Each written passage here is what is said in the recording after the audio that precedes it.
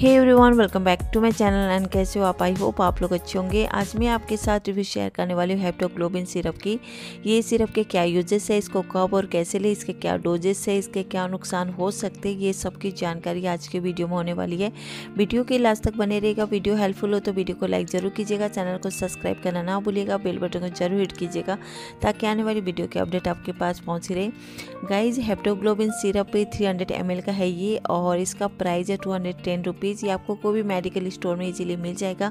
आप इसे ऑनलाइन से भी परचेस कर सकते हो। बात करें इसके यूजेस की तो ये सिरप को डॉक्टर तब रिकमेंड करते हैं जब आपके बॉडी में हेमोग्लोबिन की कमी हो।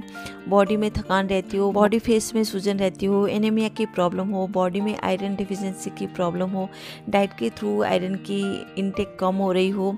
वाइटामिन बी नाइन की कमी हो प्रेगनेंसी दौरान भी डॉक्टर प्रिस्क्राइब करते हैं। ज़्यादातर लेडीज़ में बच्चे होने के बाद हेमोग्लोबिन की कमी हो जाती है। हेमोग्लोबिन को बढ़ाने के लिए ये सिरप का यूज़ कर सकते हैं।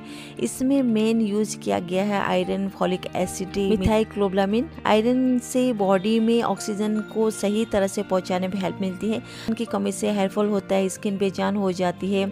अगर आयरन बॉडी में सही मात्रा में हो तो किसी भी तरह का चोट जल्दी से ठीक हो जाता है।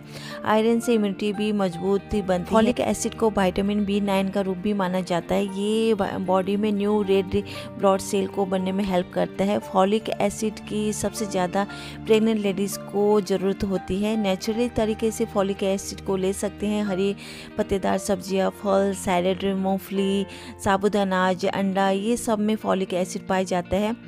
मिथाइल क्रोबलाबिन को सरल भाषा में कहें तो वाइटामिन बी ट्वेल्व ये रेड सेल की प्रोडक्शन को बढ़ाता है।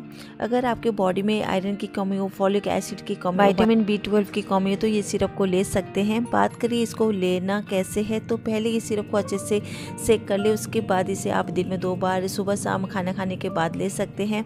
दस एम करके दिन में दो बार पानी के साथ ले सकते हैं। साइड इफ़ेक्ट की बात करते हैं, ऐसे इसका कोई साइड इफ़ेक्ट नहीं है। फिर भी किसी किसी को कब्ज हो सकता है, पेट में सूजन आ सकती है, दस्त हो सकते हैं वॉमिटिंग टेंडेंसी हो सकती है, ऐसे कुछ कॉमन साइड इफ़ेक्ट दिख सकते हैं।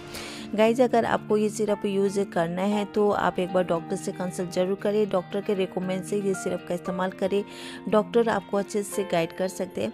तो गाइज़ यही थी मेरी आज की रिव्यू आई होप आपको मेरी रिव्यू से कुछ हेल्प मिली हो। मेरी रिव्यू अच्छी लगी। अच्छी लगी तो प्लीज़ लाइक शेयर और मेरे चैनल को सब्सक्राइब ज़रूर कीजिएगा फ्रेंड और फैमिली साथ ज़रूर शेयर कीजिएगा। तो फिर मिलते हैं नेक्स्ट वीडियो में, तब तक के लिए बाय बाय टेक केयर